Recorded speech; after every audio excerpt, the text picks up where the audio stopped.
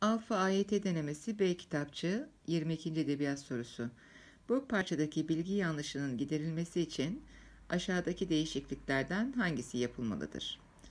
Samim Kocagöz daha çok kendi memleketi olan Söke yöresini ele aldığı romanlarıyla dikkat çeker.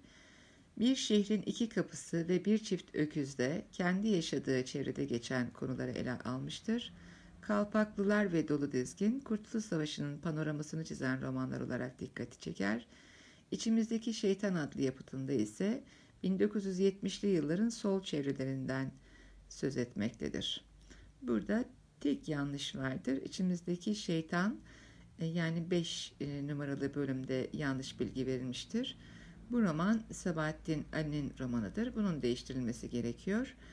E, bu da E seçeneğinde belirtilmiştir. 5'in yerine e, içimizdeki şeytanın yerine 5'te İzmir'in içinde adlı eseri getirilmelidir. E, söz konusu özelliğe sahip olan e, 1970'li yılların sol çevrelerinden söz ettiği romanı İzmir'in içinde eseridir.